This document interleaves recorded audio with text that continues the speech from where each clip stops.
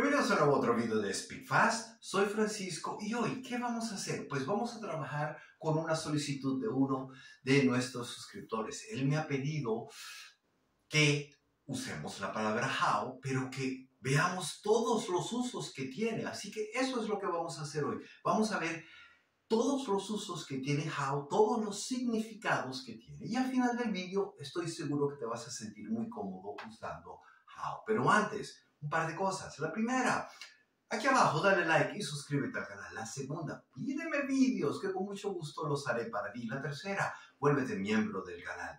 Apóyanos. Muy bien, pues nada, vamos entonces a comenzar con la clase de hoy. Pues bien, todos sabemos que how quiere decir cómo. Y ya está. Pero mucho más que eso. Recuerda que en inglés tenemos que interpretar las frases. No podemos traducir literalmente. Y ahí es que empieza el problema, porque vamos a ver how usado de diferentes maneras. ¿Qué vamos a hacer? Pues vamos a trabajar con cada una de ellas y vamos a ver ejemplos prácticos para que puedas aprender a utilizar how de manera correcta. Veamos el primero. How are you? ¿Cómo estás tú? ¡Qué fácil! How are you? ¿Cómo estás tú? Y eso lo sabemos todos. How old are you? Y empezaron los problemas. ¿Cómo de viejo eres tú? Pues sí, en inglés normalmente vas a preguntar qué tan viejo es la persona, pero hay que interpretarlo. ¿Cuántos años tienes? Y esa sería la interpretación. ¿Y cuál sería la respuesta? I am, y dices tu edad, 30 or 40 or 50 years old. I am 30 years old. Sí, soy 30 años de viejo. No vas a decir en inglés I have. No, I am. So, how old are you? ¿Qué edad tienes? ¿O cuál es tu edad? ¿O qué tan viejo eres? How old are you? I am 30 or 40 or 50, la edad que sea, years de viejo, old. Y eso va a empezar desde un año. Si tú tienes un bebé de un año, how old is your son? How old is your son? Oh, he is one month old. Él es un mes de viejo o tiene un mes. Y así se va a manejar en inglés. Veamos la próxima. How about you?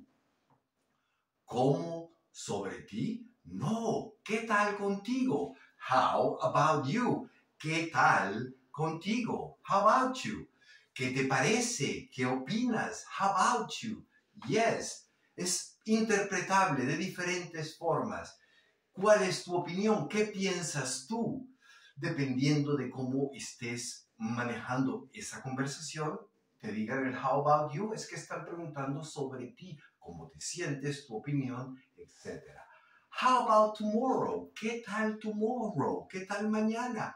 How about tomorrow? Or how about uh, next week? ¿Qué tal la próxima semana? Como ves, aquí estamos dando una alternativa. How about?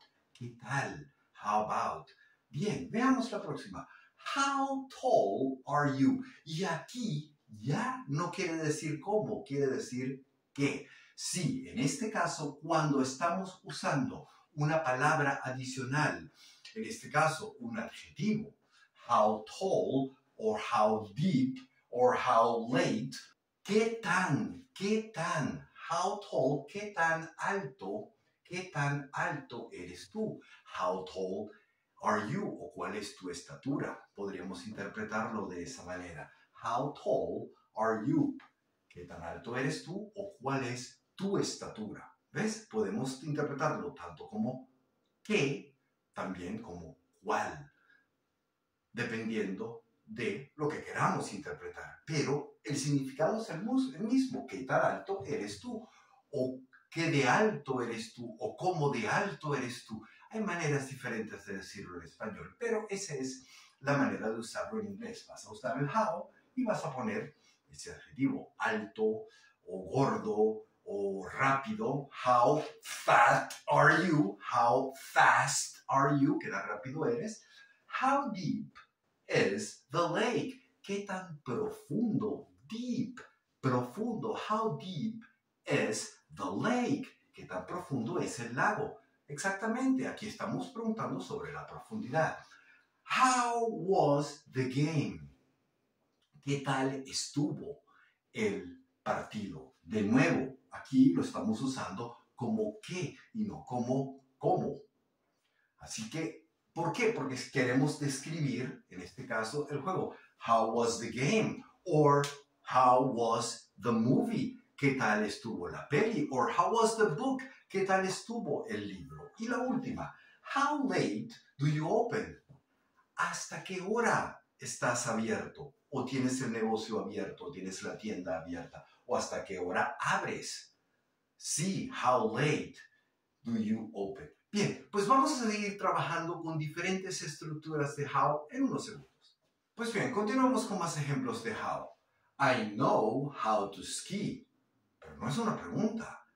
No pasa nada. Lo usamos también con respuestas. Sé cómo esquiar o sé esquiar, pero es importante poner el how to. No vas a decir I know to ski, sé esquiar, porque lo vamos a traducir literalmente y no funciona de esa manera en inglés. Para tú decir que sabes hacer algo, tienes que usar la estructura know how. De hecho, hay una palabra en inglés que se llama el know-how y es el saber hacer algo. He has know-how. Él sabe cómo hacer las cosas. He has know-how. ¿Ves? Know-how. Saber cómo. Sí, él sabe cómo hacer las cosas. Así que en inglés, cuando quieras decir que sabes hacer algo, tienes que usar la estructura know-how. I know how to ski. Sé cómo esquiar. I know how to, how to. How to, porque la T, como está entre sonidos vocálicos, la vamos a pronunciar como una R suave. I know how to ski. Veamos la próxima. She knows how to play guitar. She knows how to, how to, how to, to. De nuevo, sonidos vocálicos T. No vamos a decir she knows how to play guitar.